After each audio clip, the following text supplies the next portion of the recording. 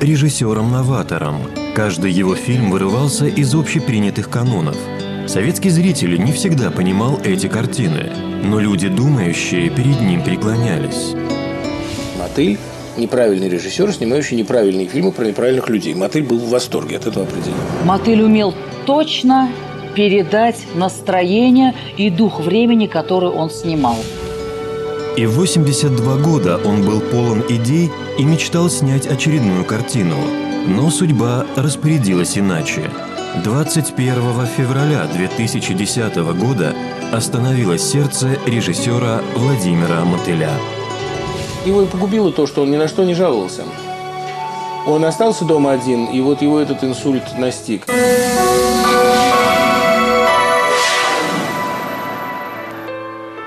Кино Владимир Мотыль попал не сразу. Он начинал как режиссер театральный. Работал в театрах Сталиногорска, Свердловска и Нижнего Тагила. Но уже тогда стал формироваться особый почерк, отличавший впоследствии его картины. Я вообще э, отношение мотыля к 20-м годам разделяю. Я понимаю, что он идеализировал их очень сильно, потому что он из этой эстетики вырос, из эстетики э, отчасти футуристов, отчасти конструктивистов. Он так странным образом продолжает гротескную линию Мейерхольда, никем практически не подхваченную. Он начинал как театральный же режиссер Мотыль. Вдохновленный Мирхольдом в конце 70-х Владимир Мотыль экранизировал пьесу Островского «Лес», это было нетрадиционное прочтение русской классики. В итоге картина оказалась на полке. Мотыль э, был, вообще говоря, мастером формы. Э, мастером формы э, такой крепкой, мастером жанра. Он мог снять, если нужно, замечательную мелодраму. Вот как раз «Багровый свет снегопада» – это классическая мелодрама, сага такая, да? Мог, если надо ему было снять э, классическую совершенно там вариацию на тему Истерна. А, вот, пожалуйста, вам «Белое солнце». Но его гениальность заключалась в том, что он умел и любил работать между жанрами, на стыке жанров. Слышь, Аксюш, нынче, к примеру, он три тысячи требует, а я за свое. Хоть и прибьет, а я завтра опять. Ни одного дня не пропускать. Либо он убьет меня поленом, либо хоть половину-то скинет, а? Как думаешь, Ксюш? Мне половины-то взять негде, вот чудной. Выбрать сук покрепче. Да и... Из постановки вытекало, что передовому социалистическому строю нечем похвастаться перед прогнившими дворянскими устоями столетней давности. Показанное самодурство и низменные страсти явно смахивали на пороки правящей партийной элиты. За этот фильм мотыля изгнали из Госкино, как многим тогда казалось навсегда вторая жизнь будет у леса, потому что русская классика нуждается в таком революционном перепрочтении, а как это делать, умел один мотыль. А вы знаете, Алексей, мне ведь не одни только страхи снятся. Что же исполнено? Ну, положим, всего я вам не скажу. Рассказывать сны – это то же, что рассказывать свои тайные мысли или желания. Я женщина, вы мужчина.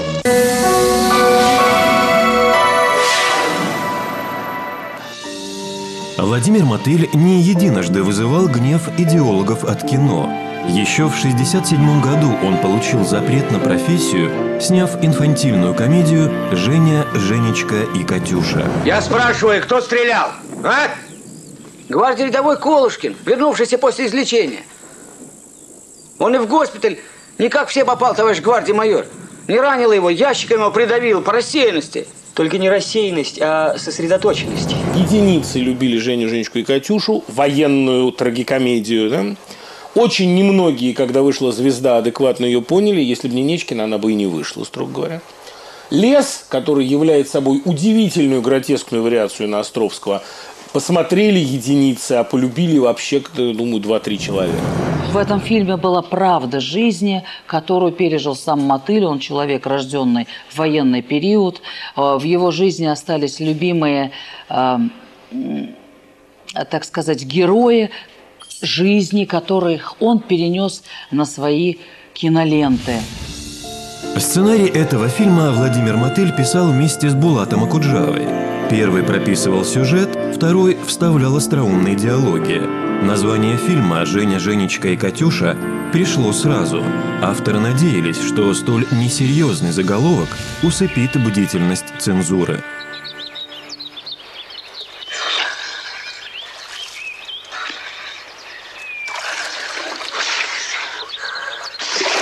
Маша, ты поставил чайник?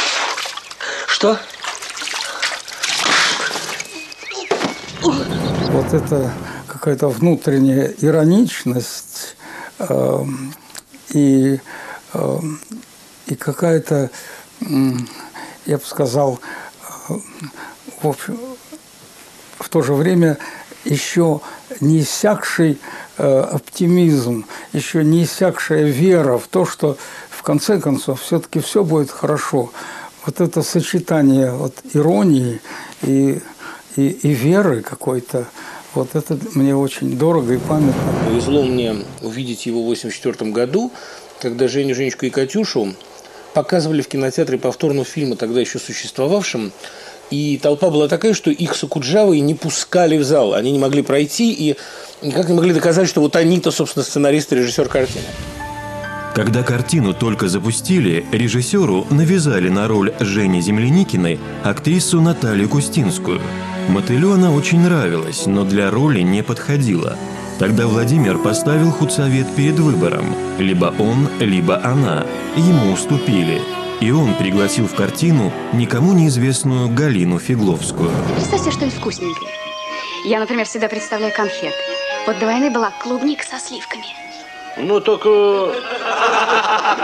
Пойдем за дерево, посидим. Ишь какой, сразу в уголок. А ты не сердись, что я тебя так. Герой, которого он подбирает, он всегда делал акцент даже не на звезд. В его фильмах снималось очень мало звезд. А, Это и объяснялось тем, что он не хотел, чтобы была ассоциация героя, которого он хочет передать, с уже с известным э, героем времени, например, с какой-то известной звездой, которая бы пере- перебивала бы этот стереотип. И в этом была его э, как бы идея и установка, э, четкость изложения правды. Роль нелепого интеллигента Жени Колышкина Мотыль прочил только Олегу Далю. Но пробы были одна неудачнее другой. Актер приходил на них в состоянии глубокого похмелья. Но режиссер дал Олегу несколько попыток. И после серьезного разговора Даль понял, как важно для него сыграть эту роль. Если ж вам вдруг повезет, вы тогда без меры Капли датского короля пейте, кавалеры Капли датского короля пейте, пейте, пейте, кавалеры Вообще, понимаете, достаточно посмотреть на экран, чтобы понять, что в беспробудном пьянстве сыграть с такой легкостью, с таким чистым глазом совершенно невозможно. Это глупость великая. Значит, прослышали, так сказать, что-то такое, и вот такую глупость значит, написали. В этой картине о войне Мотылю были важны не батальные сцены, а внутренний мир героев. Для советского кино это было непривычно. И на режиссера набросились критики, цензоры и чиновники. Но он не сломался. Сегодня русское кино задушено реализмом. И оно действительно задушено. Потому что, ну, где нет гротеска, там нет жизни. А эстетика гротеска оптимистична. Она переламывает реальность. И, ну, кто это делал в русском кино? Три человека. Климов, которого сломали очень быстро. Ну, то есть, он продолжал работать, но ему совершенно руки обрубили уже, да? И он бросил это дело, в конце концов. Полока, который, дай бог ему здоровья, продолжает снимать, потому что он крепкий, действительно, старик очень. И Мотыль, который умудрялся гениальное кино делать из общедоступных образцов. В то самое сложное время на фоне запретов и железных стен а, находятся вот те самые новаторы, идейные мыслители, которые несут свое творчество, искусство в массы. И вот той самой массой и был сам Мотыль. Уметь продолжить поиски русского киноавангарда, не ограничиваясь этим клише, это пафос переделки мира, который сидел с 20-х годов. Это, если мы сейчас э, пребываем в таком ничтожестве, прозябаем, по сути дела, это не значит, что мы будем в нем вечно. В конце концов, там э, русское кино и русское искусство – это всегда искусство людей, которые подчиняют себе вселенную, которые ее ломают, или, или оно не существует.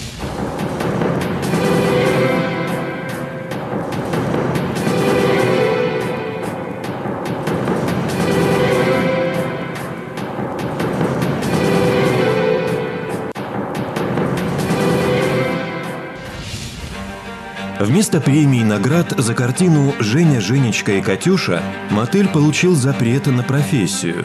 Спасением для него стала экспериментальная студия Григория Чухрая, которая имела автономию в выборе сценариев и режиссеров. Владимира пригласили туда на постановку фильма под рабочим названием «Пустыня». Такое какое-то безысходное время. Это было время упадка, общественного упадка. Это уже брежневские времена, вот канун, так сказать, нашей демократической революции. Только знайте, любезная Екатерина Матвеевна, что классовые сражения на сегодняшний день в общем и целом завершены, и час всемирного освобождения настает. И пришел мне черед домой возвратиться, чтобы с вами вместе строить новую жизнь в милой сердцу родной стране. Он любит искусство 20-х годов с его смесью сатиры, буфонады, гротеска. Он понимал Маяковского как мало кто. Он потому и «Белое солнце» сумел снять, что его пафос мировой революции и смешные стороны этого пафоса очень вдохновляли. Мотель с большой неохотой взялся за эту работу. Исходный вариант сценария был довольно прост. Красноармеец возвращался с гражданской войны, вел гарем сбежавшего Бая. Потом этого Бая убивал и шел дальше с идеями октября в душе. Не было любви Сухова к своей Катерине Матвеевне. Таможенник Верещагин был случайным персонажем. Но когда мотыля уговорили снимать картину, сценарий был переделан. Ты чего молчишь? Язык берегу. Тебя как, сразу прикончить? Или желаешь помучиться? Лучше, конечно, помучиться.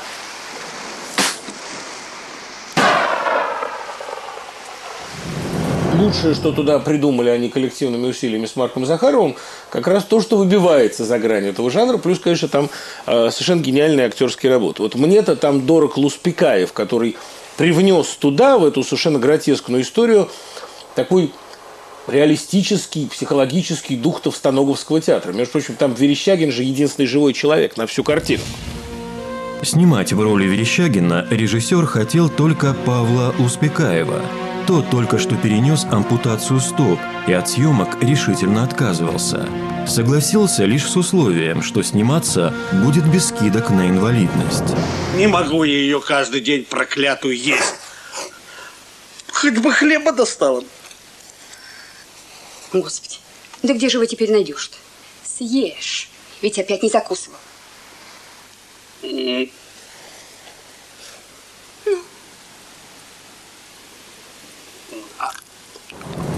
Мне там нравится то, где мотыль выбился из канона, а всем остальным как раз наоборот. Нравятся реплики типа «убили Петруху» или «Гюльчатай личика открой». То есть все, что вписывается в штамп. Поначалу картину «Белое солнце пустыни» хотели запретить, сочтя ее непрофессиональной и непатриотичной. Повезло, что фильм увидел сам Брежнев и остался в восторге. Я мзду не беру. Мне за державу обидно. Где взяли? Давно здесь сидим. Абдулла, таможня дает добро. Читай. Открой личка, «Белый солнце пустыни» при всей своей прелести – это замечательное упражнение в конкретном жанре, снятое потому, что никто другой не сумел. Он взялся за эту работу без всякого своего желания. И сумел внутри нее, да, расцветить ее как-то. Но она очень канонная, очень традиционная вещь. Просто как человек, хорошо владеющий каноном, он сделал крепкую ремесленную работу. И вот она стала так знаменита. Впоследствии лента о приключениях красноармейца Сухова стала талисманом космонавтов. В 1971 году экипаж корабля «Союз-11» погиб, и космонавты, которым предстояло совершить полет после трагедии, волновались больше обычного. Психологи подобрали им для просмотра перед стартом ободряющий фильм «Белое солнце пустыни». Полет тогда прошел без проблем, и на Байконуре просмотр этой ленты стал традицией. Естественно, будут помнить «Белое солнце», потому что оно создало определенную легенду вокруг себя, отчасти из-за космонавтов, его смотрящих непрерывно, отчасти из-за удачных реплик, ушедших в словари. Узнав о смерти кинематографиста, космонавты старшего поколения приехали почтить его память.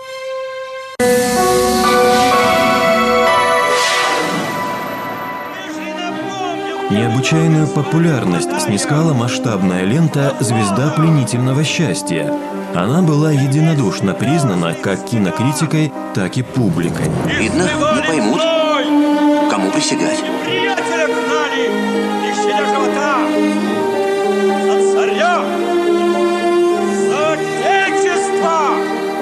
Толь царю, только институт не могу знать, кто такая это. Гениальный художник, рисующий полотно, в его голове уже возникает целый сюжет вот той самой повести, которую он хотел передать. Она становится настоящей былью, настоящим рассказом. Я очень высоко ценю «Звезду пленительного счастья». Точнейший фильм о декабризме и о том, что бывает за декабризм. Во всяком случае, в отношении формы я считаю, что это лучшая его картина. Это был фильм, посвященный женщинам России. Он рассказывал о подвиге жен декабристов, которые последовали на каторгу в Сибирь за своими мужьями. Согласны вы теперь? Мне все равно, лишь бы идти. Велите нести кандалы. Она самая гармоничная, вот то, что Шостакович назвал прекрасной цельностью формы. Она вот этими короткими кусками нарезана при своей кажущейся такой нервности и при кажущемся несоответствии эпохи. Она очень соответствует тому, что вот Тынянов назвал «Люди 20-х годов с их прыгающей походкой». Это и фильм с прыгающей походкой. Гениальный, я считаю. На съемках этого фильма Мотыль снова встретился с актером Олегом Далем. У режиссера остались о нем светлые воспоминания после картины «Женя, Женечка и Катюша». Но на этот раз Владимиру Яковлевичу казалось, что он общается с совершенно незнакомым ему человеком.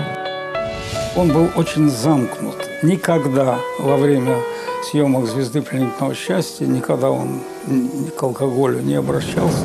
Это дала мне моя мать. Авоз. Авоз. Bila не bila.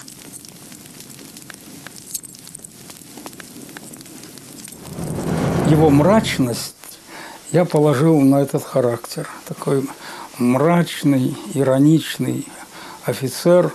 И вот если вы увидите еще когда-то этот кусок, то это ему ничего не приходилось делать. Он просто был самим собой, вот таким, каким он был в то время. У него было какое-то врожденное чувство кино, вот, но, но, как, как у Феллини. Он никогда не может объяснить, почему у него тот ракурс, а не другой. Но камера должна вот так стоять. И вот это в нем сидело очень остро. Мотыль был одним из авторов сценария фильма. И, пообщавшись с Олегом Далем по поводу очередной сцены, решил ее изменить. А у меня э, был написан в сценарии караульный офицер, э, значит, который берет взятку за то, чтобы она проникла э, значит, к своему возлюбленному.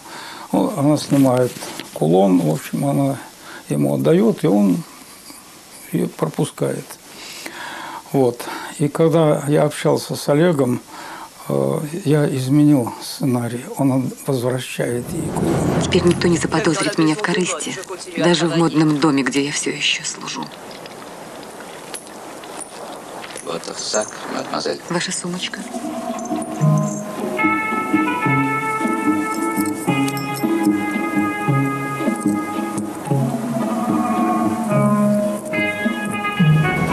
Звезда будет вечной абсолютно, потому что феномен русского декабризма никуда не девается, и декабристов еще будет полно, и она еще обретет свою актуальность еще 20 раз.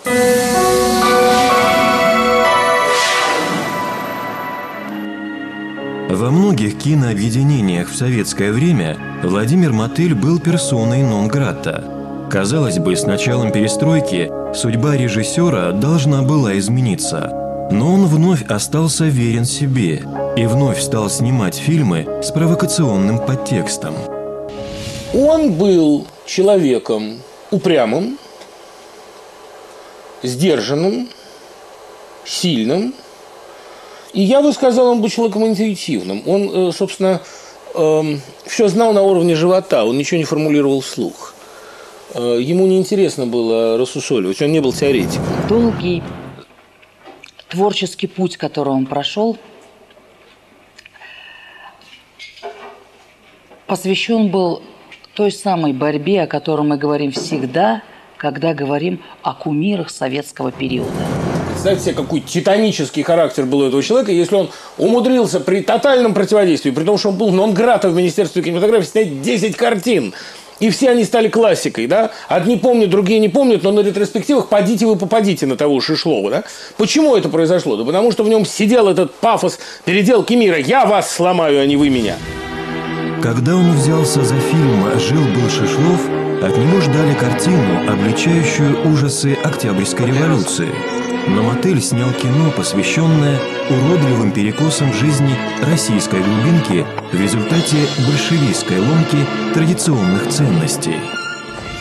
Я скажу нестандартную вещь. Мне кажется, что его лучшая картина – это «Жил-был Шишлов». Наименее замеченный фильм 86 года, потому что он самый точный. Он о том, как и чем закончилась русская революция, чем она сменилась. На данном этапе оживления частного капитала поселке Птюнька имели место попытки разложить пролетарские ряды. Есть факты, сигнализируй в совет. Факты подтасовать можно, а пролетарское чутье никогда. Мотыль э, сразу почувствовал, что революцию будут обгаживать, но ему показалось важным тогда сказать, что есть вещи похуже революции, что ее э, жестокость, ее уродство, ее кровь, которые вот так странно персонифицированы были в этой фанатической фигуре Шишлова, не самое страшное, что конформизм страшнее, что хапужничество страшнее, что НЭП страшнее. Этот фильм содержал в себе опасный по тем временам вопрос. Почему эксперимент с социализмом в отдельно взятой стране не получился? Так вот, «Жил-был Шишлов» – это фильм о том, как революция предана, фильм о том, как гибнет, может быть, и не лучший далеко, но очень приличный человек. Гибнет под гнетом абсолютных ничтожеств. Между прочим, Догилева там сыграла лучшую свою роль, отрицательную. Деньги мне нужны, Павел Николаевич. Очень срочно. Сколько? Тыщенку. Сыщенку. Царица небесная. Это ж миллиард на старый. Не дадите? Да ведь как же, Лариса Кирилловна, вам отказать? Днями верну. О разговоре ни слова. Он сумел э, чудом вытащить из старой пьесы Солынского, которую вообще уже и забыли помнить, сумел вытащить драгоценные и важные подтексты. Я считаю, что это лучшая его картина. Множество фильмов, которые снимал э, Мотыль, они именно всегда очень четко передают время. Когда Мотыль пытался прыгать из жанра в жанр и расширять границы этого жанра, его понимали немного. И вот это, кстати, одна из причин, почему не понят оказался Шишлов. Ну как так? У нас 86 год, нам нужно перестроечное кино, разоблачающееся ужас советской власти. А он рассказывает о том, как советскую власть предали. Ну что вы хотите? Эту картину показали один раз и забыли благополучно. А это гениальный фильм. Этому историческому периоду была посвящена и последняя работа Владимира Мотыля «Багровый цвет снегопада».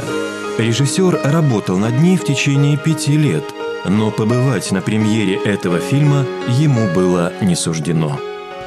Мне дочка рассказывала, что она хотела с ним жить, хотела от него не отходить. Он был против, он считал себя человеком самостоятельным.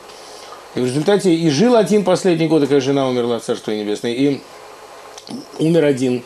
В этом есть какой-то героизм. Он никого собой не грузил, никогда не жаловался ни на что. Такой был железный старик. В начале февраля 2010 года он потерял сознание и упал. Мотыль был госпитализирован с переломом шейных позвонков. Уже в больнице у режиссера была также обнаружена пневмония. Врачи оценивали его состояние как крайне тяжелое, и их опасения подтвердились. 21 февраля Владимир Яковлевич умер. Как он жил, знают все, а как он умер, почти никто не заметил. И вот он абсолютно как-то растворился в своем кинематографе. И это для режиссера очень хороший суд. Госпожа Несмотря на преклонный возраст, режиссер был полон новых идей. И даже чувствуя себя плохо после премьеры «Багрового цвета снегопада», хотел приступать к съемкам новой картины. Он, да, не сказал, Стоянович, незадолго до смерти, что придумал новую картину, дешевую, психологическую, интересную, двое в гостинице выясняют отношения, хочет делать, зовет ее. «Хороший будет гротеск». И вот то, что он как бы умер полный замечательных идей, опять сделать формальный эксперимент на крошечном пятачке а на медные деньги гротеск для двоих, вот это меня наполняет говорю, особой за него гордостью. Он был совершенно неубиваем. До конца не спета, перестаньте черти, да клясться на крови. Не везет мне в смерти, повезет любви.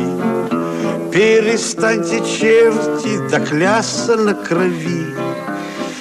Эх, не везет мне в смерти. Повезет в любви.